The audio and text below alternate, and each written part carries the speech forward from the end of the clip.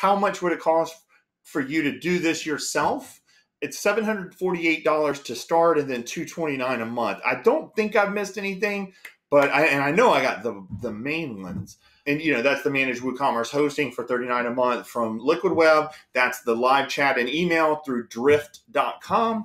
That's the 50 bucks a month version from them for two live chat operators plus the email. Wistia, the video hosting and analytics. GatherUp for the customer feedback loop.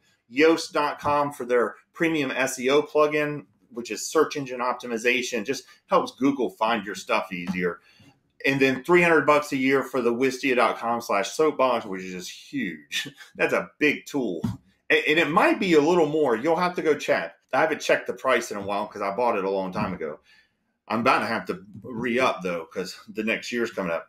130 bucks for studiopress.com if you've never bought anything from them before that's for the essence pro theme. Of course you could use any of their woocommerce enabled themes from studiopress and you know rock on